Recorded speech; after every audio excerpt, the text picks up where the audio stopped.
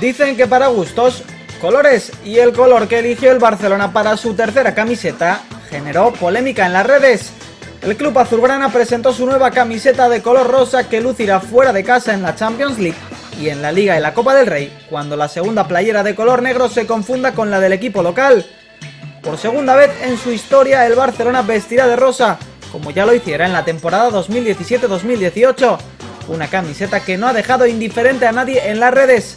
Hubo quien encontró en la nueva camiseta la razón por la que Messi quería irse, y también quien dejó una representación gráfica de la que puede haber sido la reacción del argentino al verla, e incluso los hubo que no quedaron nada contentos ni siquiera con la forma en que se presentó, pero como decía, para gustos, colores.